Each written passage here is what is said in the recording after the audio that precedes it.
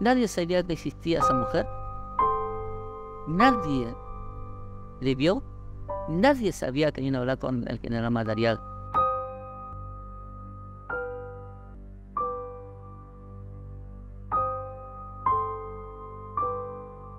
Eso es una historia real. Eso es algo real.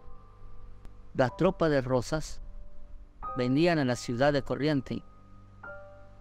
El general José Joaquín Gregorio Madariaga cruzó en su momento a Brasil y después volvió a la Argentina en marzo de 1843 vinieron a casa de, gobierno directo de Corrientes, donde el pueblo correntino totalmente la aceptó y aprobó para que quede como gobernador.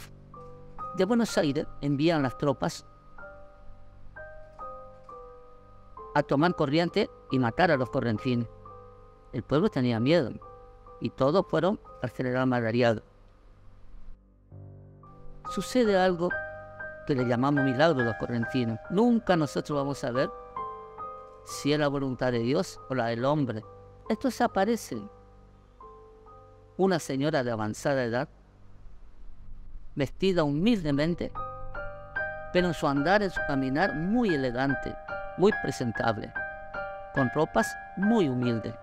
Laguna Brava, a donde estamos nosotros ahora, ciudad capital, figura los libros tres leguas y cada legua son 5 kilómetros, o sea que 15 kilómetros.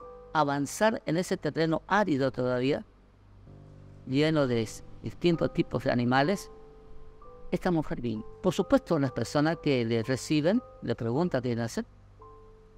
Ella lo único que contestó es que quería hablar con el gobernador. No había otra palabra que ver. Le llevan al gobernador. Por eso hablé de la fecha para que una mujer haga todas estas cosas. Y sobre todo una mujer. El gobernador le recibe, general Madariaga, habla con ella. Como todo profesional del arma, le interroga qué viene a hacer. Entonces ella le dice que vinieron las tropas y que estaba descansando en Laguna Brava, donde los soldados que venían a matar a los correntinos se habían quitado la ropa, se bañaron, tenían las armas en otro lado, estaban carneando, iban a comer, se bajaron los caballos y se azotaron todo. Este es el momento que usted tiene que hacer. Entonces el general le dice, pero lo que usted está diciendo nosotros sabemos. Lo que pasa es que este es el momento que tiene que atacar. Y tiene que atacar así en distintos lugares, le explica al general. Eran 2.500 hombres que venían y corriente 200 hombres con dos cañoncitos.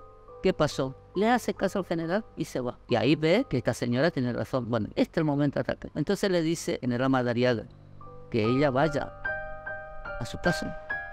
De que después que finaliza esto salimos bien, nosotros le vamos apostar, le vamos a recompensar por servicio a la patria. ¿Qué pasó?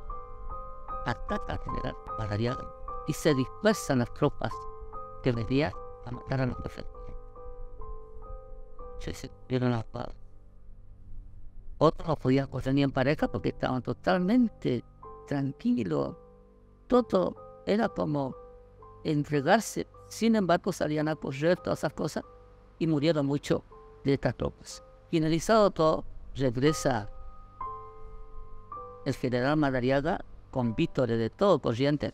Y él dice, bueno, llama a los oficiales de más confianza que él tiene que vayan a buscar a esta mujer. En el departamento Loma, era de la época. Buscan a esa mujer. Dos días. Nadie le conocía. Ni tampoco se enteraron que vino a hablar con el general. La Virgen de la Merced fue proclamada varias veces como patrona de la ciudad de Corrientes. Eso hace de que la gente interpreta que ella como madre, como patrona de la ciudad de Corrientes, protegió a los correntinos. Nadie sabía que existía esa mujer. Nadie le vio. Nadie sabía que iba a hablar con el general Madariaga. Básicamente, esa es la historia real de lo que sería el milagro de Laguna Brava.